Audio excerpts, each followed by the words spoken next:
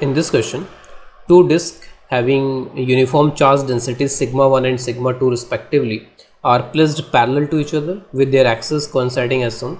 Flux of the electric field linked with this one is phi 1. So flux linked with this area is phi 1 and flux of the electric field linked with disk 2. So flux linked with this area, this circular area is phi 2 and obviously this flux which is linked with this area is due to electric field of this disk and uh, the flux linked with this one is due to electric field of this disk.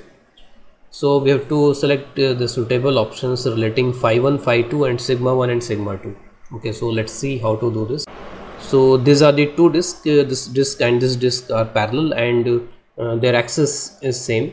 So from the symmetry of this situation uh, i can say that force on this disk due to this number 2 and force on this disk due to this number 1 so we can say the direction of force will be something like this. So force on this disk. By symmetry I can say that force on this disk is along the axis something like this and the force on this disk is also like this okay.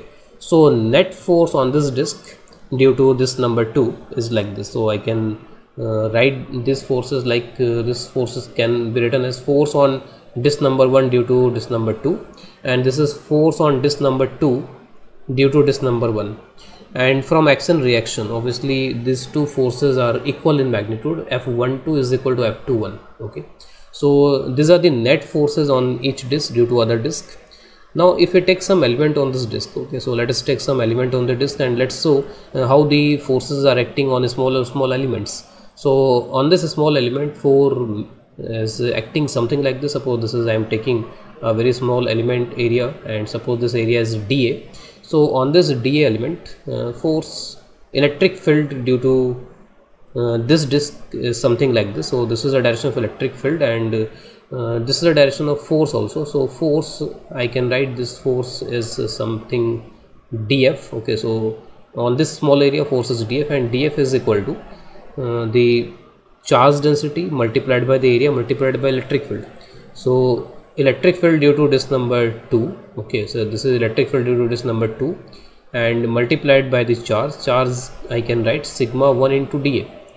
dA is this area okay so this is the area dA this element has area dA.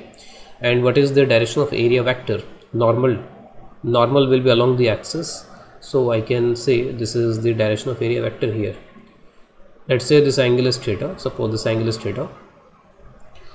So this is the force on this element and a similar element a similar looking element if I take uh, uh, here. So this element is very similar to this element and force will be something like that on this element. Okay. So the same df will be acting on this element like this.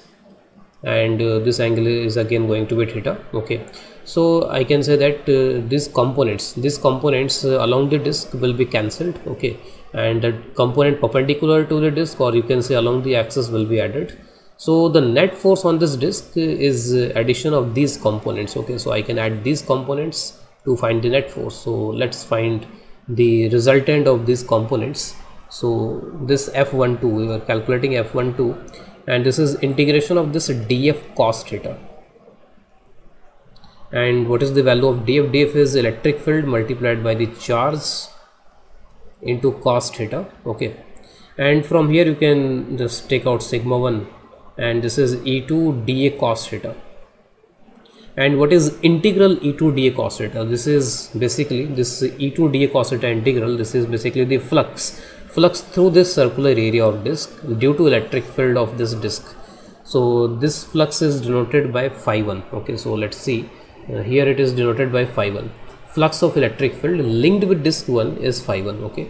So I will write this as phi 1 so it is simply sigma 1 into phi 1 and uh, the, in the similar fashion I can calculate force on disk number 2 due to 1 and this will come out as sigma 2 phi 2 uh, with the similar calculation. And since these two are action reaction pairs okay so these are action reaction pair so this forces must be equal in magnitude so now I can write sigma 1 phi 1 this would be equal to sigma 2 phi 2. okay? So this is the relation and sigma 1 by sigma 2 this is equal to phi 2 by phi 1 so let's see what are the correct options here okay? So sigma 1 by sigma 2 this is phi 2 by phi 1 so this b is correct. And also you can say d is also correct for any set of values of sigma 1 sigma 2 the relation sigma 1 phi 1 is equal to sigma 2 phi 2 is always true okay? So whatever be the values of sigma 1 sigma 2 this relation is always true so these are the answers.